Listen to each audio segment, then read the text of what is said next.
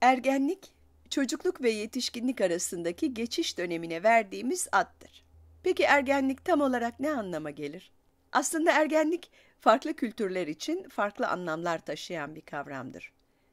Mesela çocukların birkaç yıl okula gittikten sonra henüz çok küçük yaşlardayken hayata atıldığı, iş bulup kendi kendilerine yetecek hale geldiği kültürlerde ergenlik dönemi pek de söz konusu değildir. Ergenlik batı kültürleri için bile yeni bir kavram sayılabilir. Geçmişte çocuklar ve bugün bildiğimiz anlamıyla ergenler minik birer yetişkin olarak veya doğrudan yetişkin olarak muamele görürdü. Ergenliğin toplum tarafından üretilmiş bir kavram olup olmadığı hakkında uzun uzun tartışabiliriz. Hatta bu konuya özel ayrı bir video bile hazırlayabilirim. Ama kısaca şöyle özetleyelim. Günümüzde Amerika'da ve Batı dünyasının büyük bölümünde ergenliğin cinsel olgunlaşmayla başlayıp bağımsız yetişkinlik statüsüne erişmeyle sona erdiği kabul ediliyor. Yani ailenizden ayrı yaşamaya, kendi ilgi alanlarınızla uğraşmaya, bir işte çalışmaya vesaire başladığınız zaman ergenlikten çıkmış oluyorsunuz. Yani ergenlik esasında kendi ayaklarınız üzerinde durabilmenizle ilgili bir şey. Ergenliğin tipik olarak püberte ile yani blue çağı ile birlikte başladığını kabul ediyoruz. Blue çağı iki yıl kadar süren bir cinsel olgunlaşma sürecidir. Bu süreç sırasında kişi üreme yeteneğini kazanır. Blue çağı kızlarda ve erkeklerde farklı zamanlarda başlar. Erkeklerde başlama zamanı genelde 13 yaş civarıdır. Kızlarsa genellikle 11 yaşında Blue çağına girerler. Ha, tekrar ediyorum bunlar genel durumlar. Yani Blue çağ kişiye bağlı olarak daha erken veya daha da geç başlayabilir. Blue çağı bir süreç olsa da onu genelde çok özel ve önemli iki olayla ilişkilendiririz. Erkekler için bu olay ilk ejakülasyondur ki bu genelde uyku sırasında gerçekleşir. Kızlar içinse bu olay menstrual döngünün başlangıcı yani ilk adet kanamasıdır. Nasıl ki blue çağı kızlarda ve erkeklerde farklı yaşlarda başlıyorsa, bu dönüm noktaları da farklı yaşlarda yaşanır.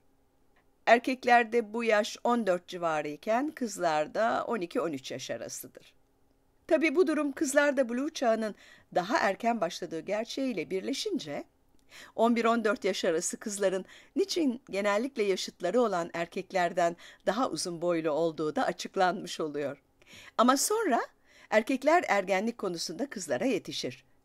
O zamandan sonra erkekler aniden boy atar ve genellikle de sonuçta kızlardan daha uzun boylu olurlar. Blue çağında bu dönüm noktalarının yanı sıra birçok farklı fiziksel değişim de gerçekleşir.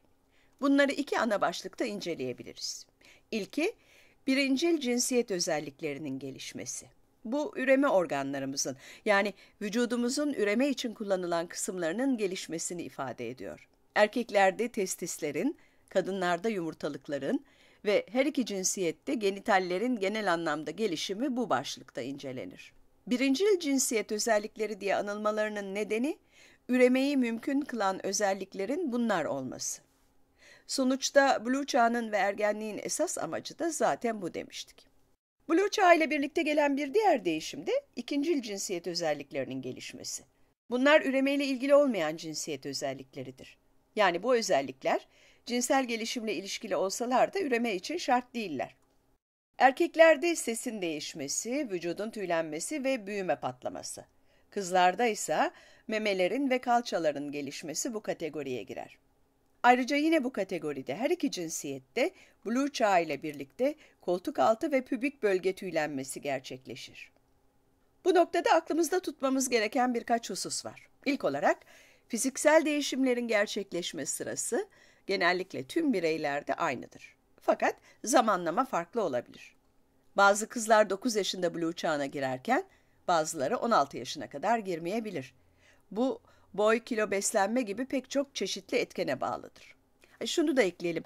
Adet kanamasının erken veya geç başlaması genellikle herhangi bir sorun olduğuna işaret etmez. Bu durumda bireysel farklılıklardan kaynaklanır ve normaldir. Öte yandan erken blue çağına bağlı bir takım toplumsal etkiler söz konusudur.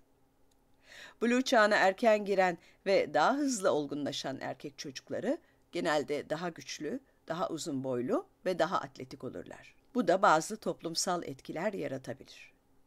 Böyle çocuklar popüler, özgüvenli ve bağımsız olma eğilimindedirler. Sanıyorum ki popüler yani sevilen biri olmanın hoş bir şey olduğu konusunda hepimiz hemfikirizdir. Ama erkeklerde erken blue çağının bazı olumsuz etkileri de olabilir. Mesela suça yatkınlıkta ve alkol tüketiminde artış olması gibi. Kızlarda ise mesele bu kadar basit değil. Aslında blue çağına erken girmenin kızlar için hiçbir pozitif yanı yok diyebiliriz. Blue çağına erken giren kızlar genellikle erkekler gibi daha popüler olmazlar. Aksine çoğu zaman sataşmalara ve hatta bazen cinsel tacize maruz kalırlar. İlgi alanları konusunda arkadaşlarıyla uyum sağlayamazlar. Yetişkinlerden ve yaşıtlarından gördükleri ilgi, yaşadıkları etkileşimler ve gördükleri tepkiler açısından bakıldığında kızlarda erken fiziksel olgunlaşma toplumsal açıdan pek de olumlu etkiler doğurmaz.